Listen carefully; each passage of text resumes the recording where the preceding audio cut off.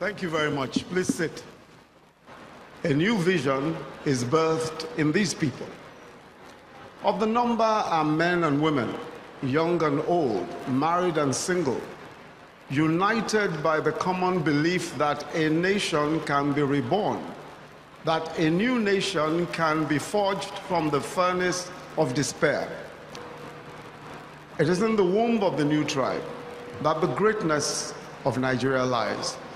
But greatness can only come from the willingness of the few to make the sacrifices necessary for the emancipation of the many. This new tribe can build a new nation. I invite you to join the new tribe. Thank you and have a good evening.